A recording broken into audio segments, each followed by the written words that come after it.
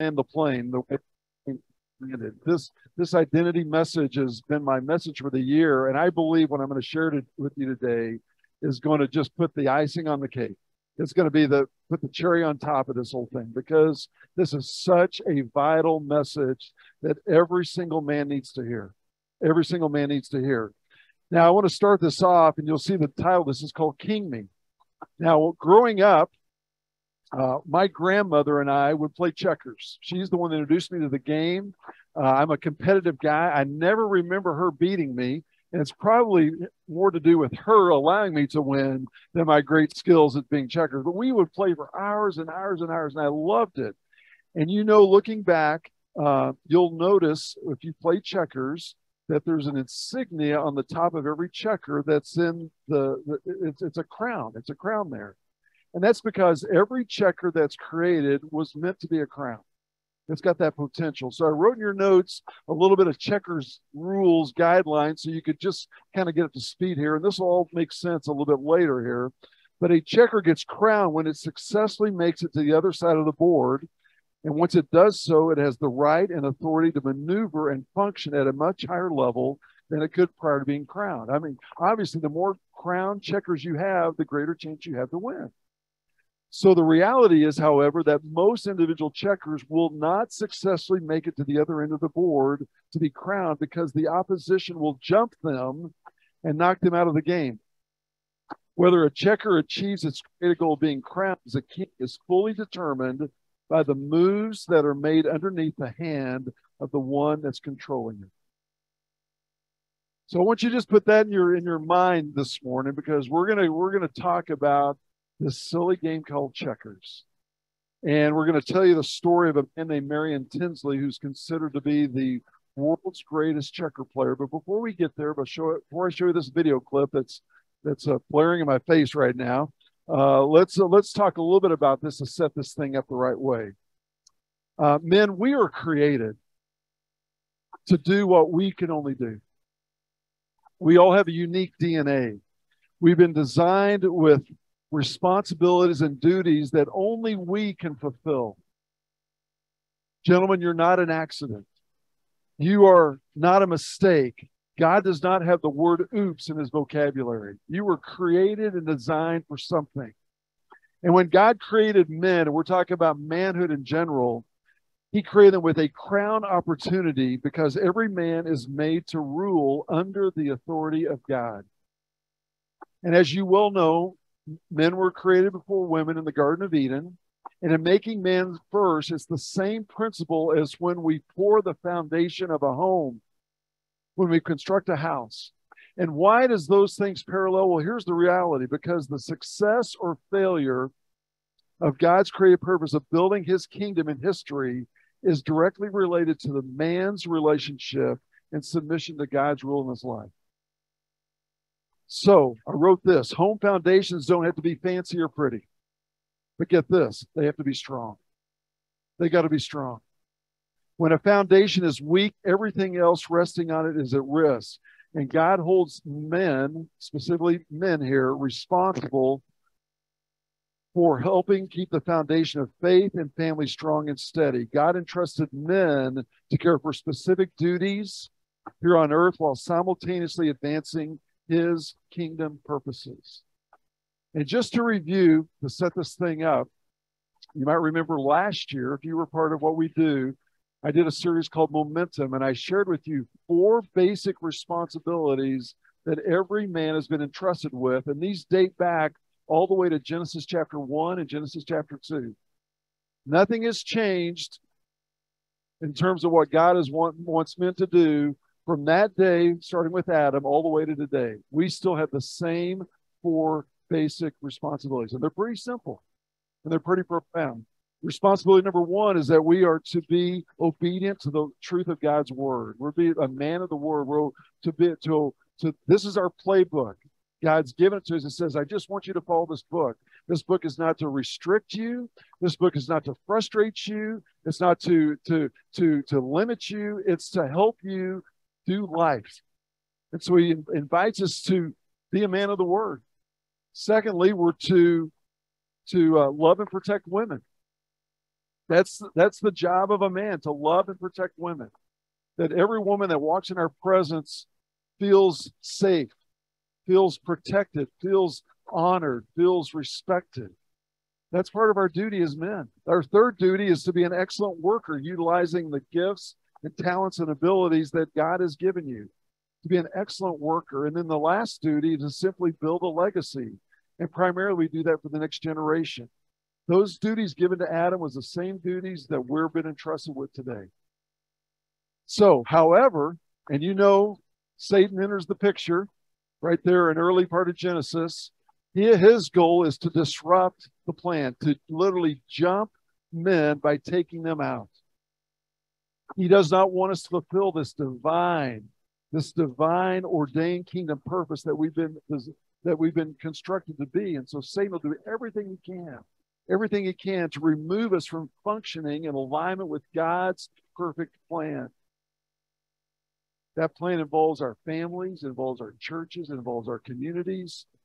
And guess what? Our nation is experiencing the negative consequences right now the, and the confusion of men that are living independent from God. And guys, you don't have to look very far to see that manhood is in serious jeopardy. It is in serious jeopardy. Our, our, our, our too many men are living a life of defeat, discouragement, confusion, rebellion, addiction, a myriad of other things that affect the social and the and the racial and the political chaos that we're experiencing today. I mean, it is clearly evident that things are troubling. Too many men have become neutered or domesticated or abusive or irresponsible. And our and our society is showing the effects of being of being torn, of being tattered, being in utter dysfunction.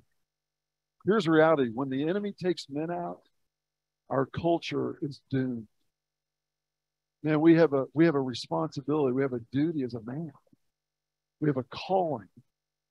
We've been entrusted with some really special things. Are we going to utilize what God is doing in our life and simply follow those four things He's asked us to do? Or are we going to just watch this, this culture just crumble? And while there is doom and gloom everywhere, here's the reality there's still hope. And here's the hope when men rise up. When men rise up as kingdom men, that He's created us to be, that we have this intimate relationship with Him while simultaneously we represent Him in all that we do. God can reverse and He will reverse the downward spiral. He there is hope when God is involved, and He's waiting for men, men like you and I, to rise up and fulfill this calling, this responsibility that we have in front of us. Imagine just for a second, guys, what what what what what it would look like if men simply said yes to this opportunity, to this invitation that God has to be a kingdom man. And here's the neat part of the story God not only invites you to do it, but He says this I will help you every step of the way. I will help you do this. See, with God's assistance and help working through the power of the Holy Spirit, you don't have to play Mr. Macho Man and try to pull yourself up by your own bootstraps. You don't have to do this on your own. God says, allow me through the Holy Spirit to work in your life so that you can fulfill the calling that you have. Craig White and I had a private conversation last week. I actually called him on Monday and I says, Craig, remind me of those things that you've told me because I think they tie in beautifully with what I'm going to talk about this week at TGI so we got on the phone, and, and Craig said these are the three life principles that he has been sharing with men for literally dozens of years. Three simple points, and it ties so well with this uh, message that I want to share today. Here's the first thing Craig says.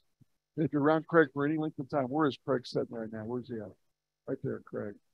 Our Jersey man. Always got a new jersey on, doesn't he? Crazy cool. He's got a quite a collection. Here's what he says that God loves you and He has a wonderful plan for your life. Gentlemen, that's true for every single one of you. He loves you. He's got a wonderful plan for your life. Jeremiah 29 11, one of my life verses says, For for for I know the plans I have for you, declares the Lord. Plans not to harm you, plans to prosper, you, plans to give you a future and a hope. And that applies to every single one of you guys. There's a second principle that Craig shares.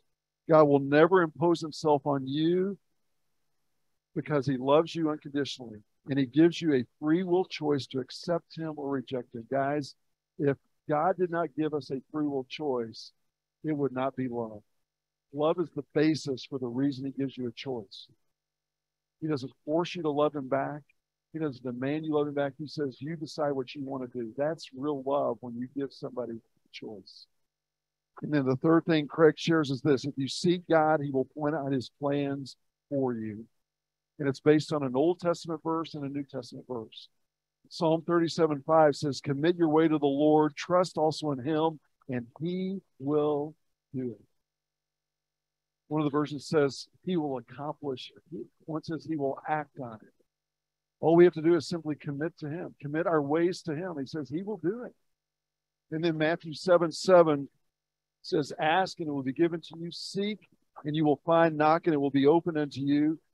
Uh, here's the reality we ask, we seek, and we knock. God does not play hide and seek with us, guys. He does not want to frustrate us. He's not trying to confuse us. He simply says, Ask, seek, and knock, and I will reveal my plans to you. So, with that backdrop, I want to share this video with you. I found this through Tony Evans' ministry, with, and it's uh, it, it, and I, if you want to look it up yourself afterwards, well, I can send you the link. It's a YouTube link, or you can simply go to Tony Evans, King me, and you can watch it again for yourself. But Marion Tinsley is considered to be the greatest checker player of all time. He's got a kingdom message that I think applies to every single guy in the room. So let's play it. Chris, here we go.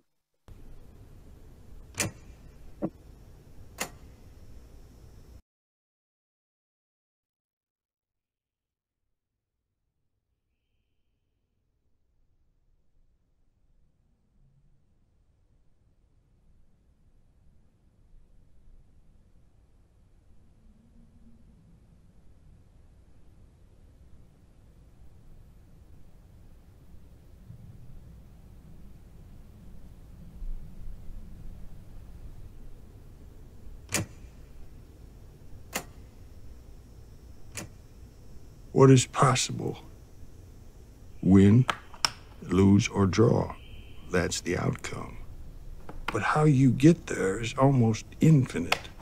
500 billion, billion different positions to play. And each piece with the potential to be your greatest ally. A king.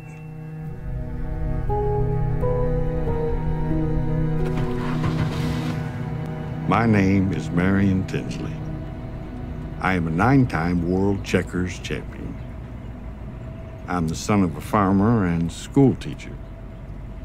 I have a doctorate in mathematics and used to keep track of how many hours I studied checkers until graduate school. I was at 10,000 hours. I practiced to the point where I can predict 30 moves ahead.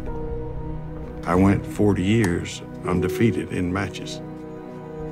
Every piece is made for the infinite possibilities and with the same potential. Will it become what it's made for? What it needs to be? That depends on the hand controlling it. I can't will it, but I can practice it. I can envision it. I can play the plays that bring out its purpose to be crowned.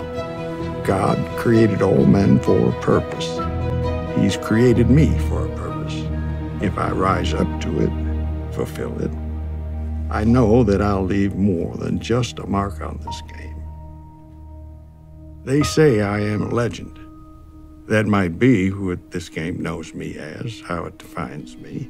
But I see myself first as a kingdom minded man. I don't know why I'm made for this, wired for this, but I know it's part of my purpose. When a challenge I face is an obstacle to my calling, I know the strength I summon to overcome it is what I'm also made for and brings me closer to my purpose. Obstacles, we don't run from them, we overcome them. And I needed one, something to challenge me. I needed to battle against someone or something. I knew I had more purpose to fulfill more of my calling left unanswered. They say the program this AI could see options so far in the future that its programmer and many of my friends were saying no human can beat it. Marion is a champion. He hasn't lost a game since 1983. But we're constantly getting better, and Chinook is always learning. We feel confident about London. So I agreed to the unbeatable.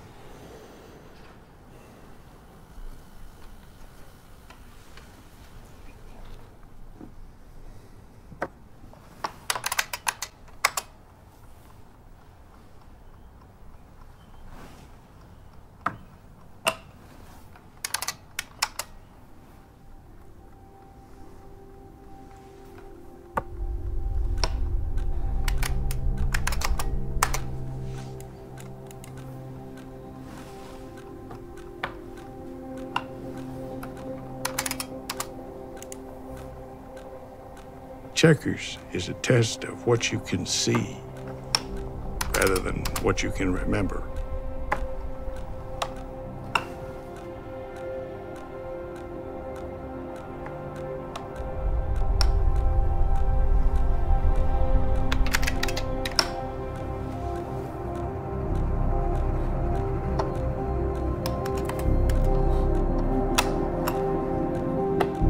Began to think that Chinook might be the challenge that beats me.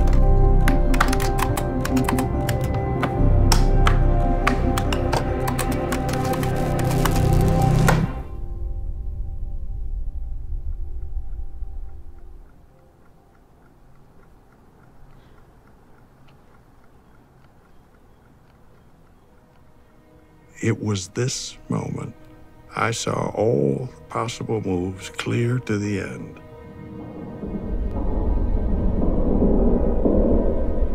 I knew I would win. You're going to regret that.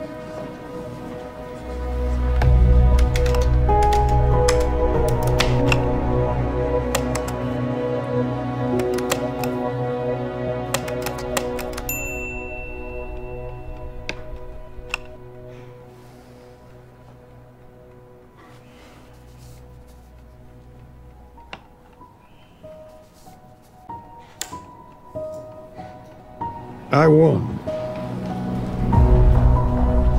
I beat the artificial intelligence they named Chinook, its coder, Jonathan, and most importantly, the challenge that stood between me and my purpose.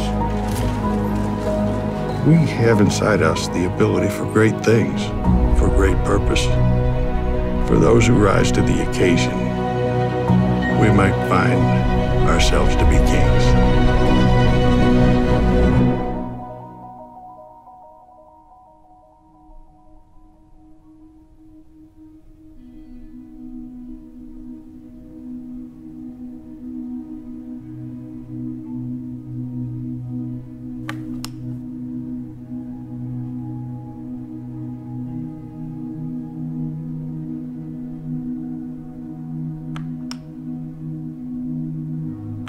Obstacles, we don't run from them, we overcome them.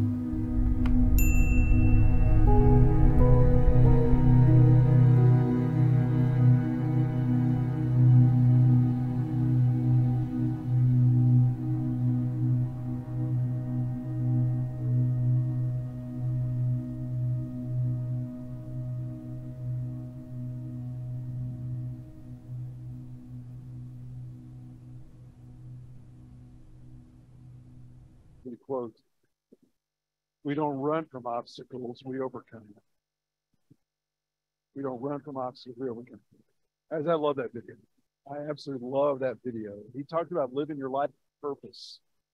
He talked about rising up to the calling God has in your life. He talked about fulfilling your destiny. And my question to you today is this What is your kingdom?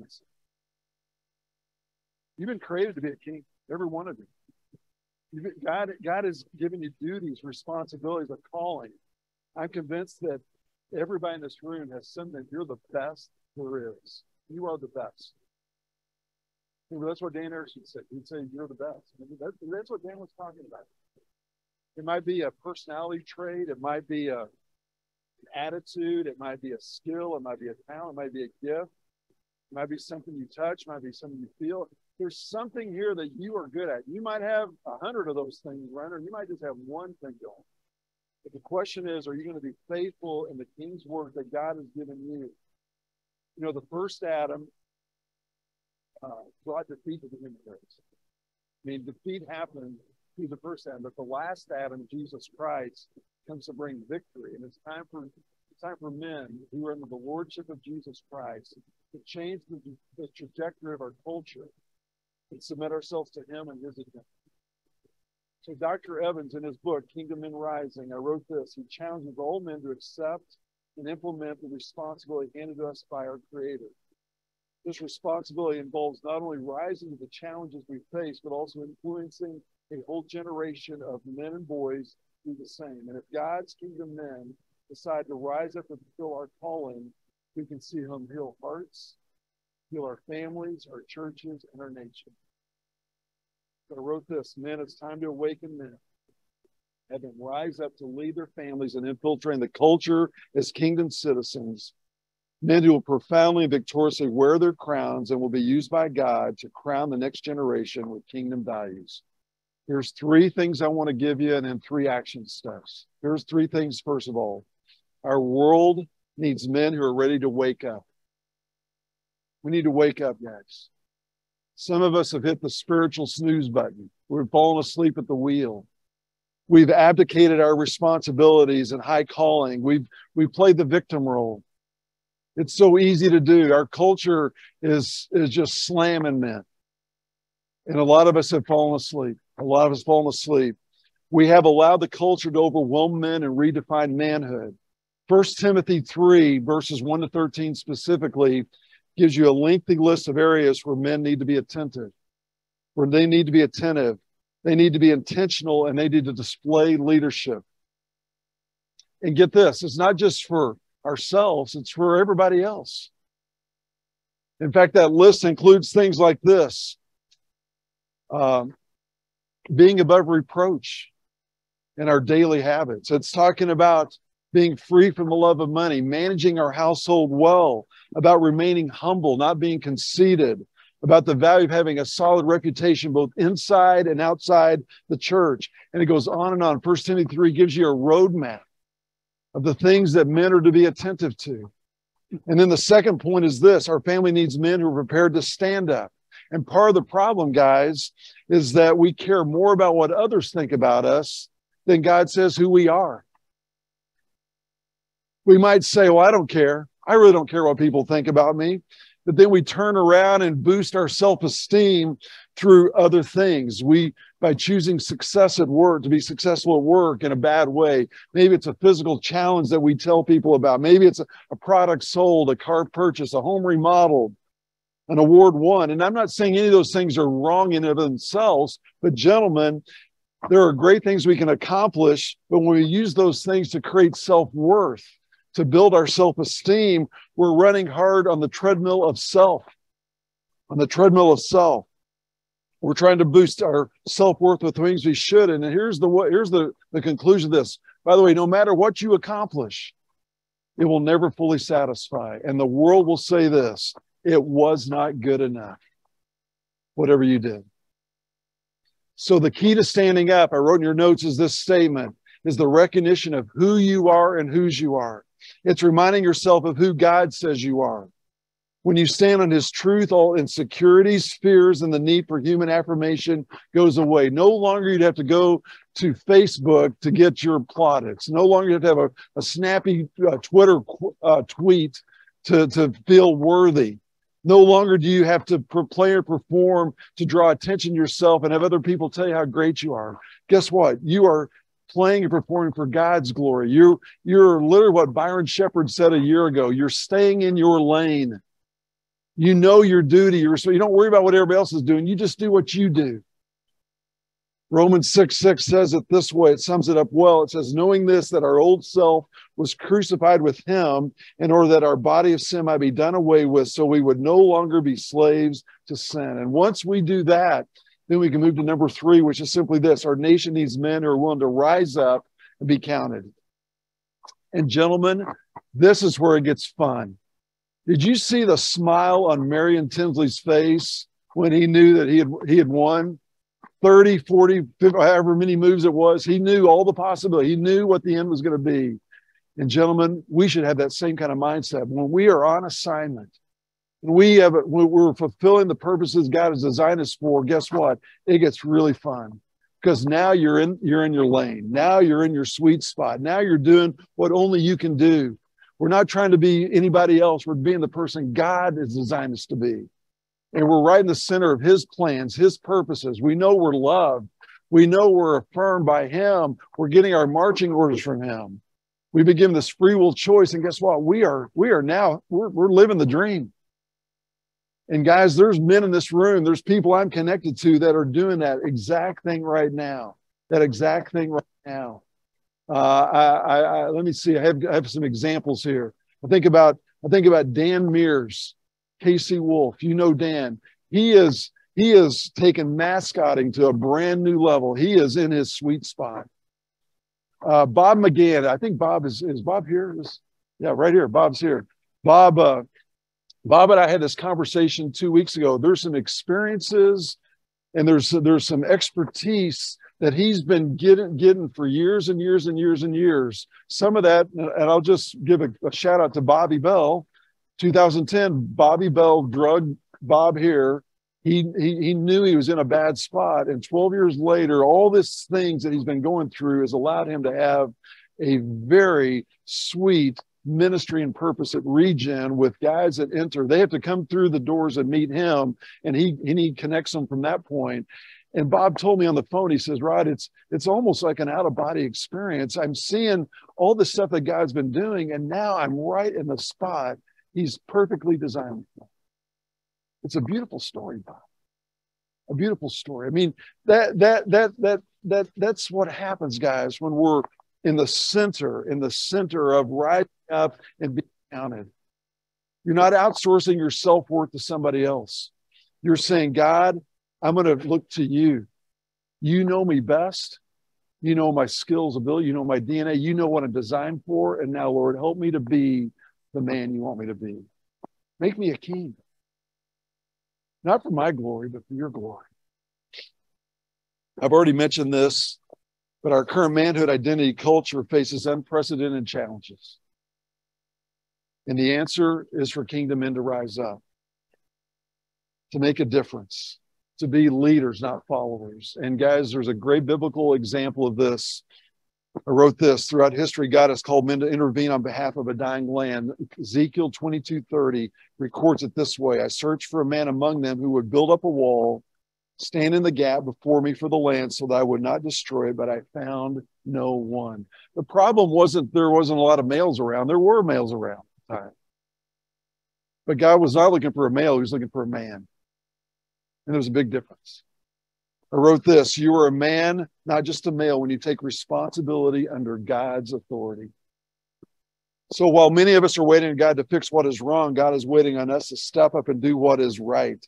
He's waiting on men who don't just talk about faith, but who walk in it. These are the men whose actions demonstrate that they believe God is the one they claim to worship. So, men, it's time to step up. It's time to rise up. It's time to wake up three verses you see here, I wrote in your notes. Micah 6 8 says, He has told you, old man, what is good. What does the Lord require of you? To do justice, to love kindness, to walk humbly with your God. Pretty simple, pretty profound. And then it says this Psalm 112, 1 to 3 Praise the Lord. How blessed is the man who fears the Lord, who greatly delights in his commandments. His descendants will be mighty on earth. The generation of the upright will be blessed.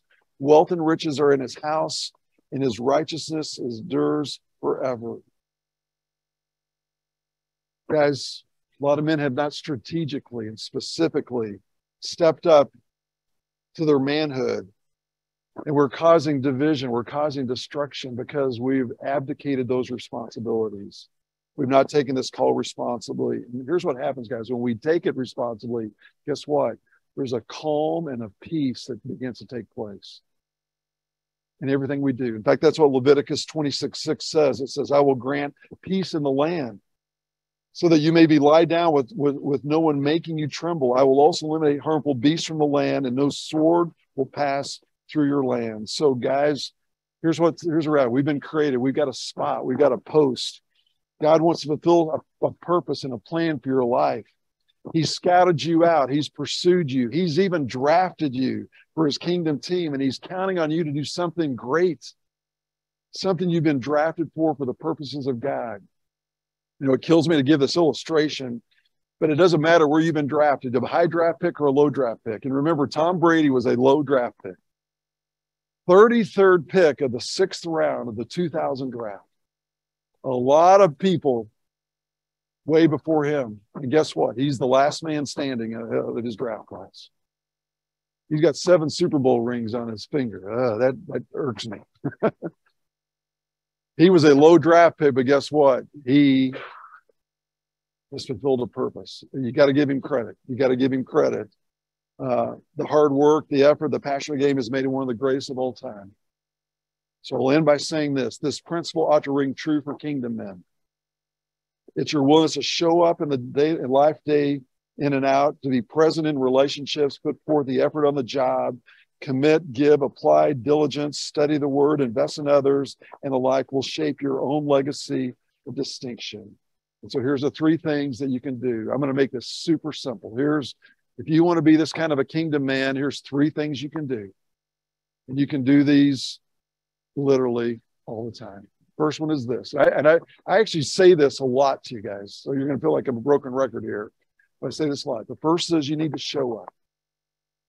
Just show up. Be present. Stay consistent. I get really concerned with men when men go AWOL, when all of a sudden they disappear. You don't see them anymore. They're not at TGIW. They're not at church. They're not with their family. They're they're they're out. Where are they at? Where are they at? Get visible. Showing up, guys, is half the battle. Just showing up. Here's the second thing look up. Once you show up, look up. Get your marching orders from God, the only one who can tell you who you are and whose you are. So you do those three things that Craig White talked about. You ask and you seek and you knock.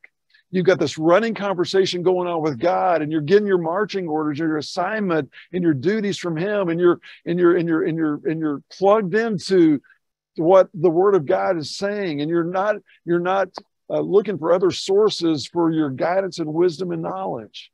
So you're looking up to the heavens. And again, God is not trying to confuse you. He's not playing hide and seek. He wants to let you know what to do. The question is, are you going to listen to him? And then here's the third thing we do. Once we once we show up and once we look up, then we then we hook up. We hook up. We don't isolate ourselves. We don't go solo. We put ourselves in places, a position where we're with, we're with iron sharpeners. We're holding, we're holding others accountable. We're holding ourselves accountable. We understand that two is better than one, that, that we're better when we're together. And gentlemen, if you do those three simple things, show up, look up, and hook up, guess what? You will build a legacy, a legacy of distinction, a legacy of excellence. So let me say this in closing God has given every one of us a responsibility to maximize the gifts He's given us, to use them for His glory. Men, this means that you need to lead your family. You need to lead your family well. You need to stand up as a leader in your church, provide direction that your community needs. We're facing troubled times, but when godly men stay involved, stay engaged, stay alert, stay awake, guess what? We can make a difference for his glory and not our glory. So Lord, that's my prayer for these men. That's our prayer for all of us, Lord, that we would not miss the assignment, the purpose, the calling, the high calling that you have for every one of us. We have value. We are not an accident. We're not a mistake. You've got a plan for our life, and it's a really good plan. We know that you love us that you want to give us way more than we could dream or imagine. So, Lord, we invite you to reign and rule in our life. We invite you to, to uh, provide the Holy Spirit every step of the way to lead and direct us as you see fit. We do this again, not for our glory, but praise in Jesus' precious name. Amen and amen. God bless you guys. We'll see you next week, okay?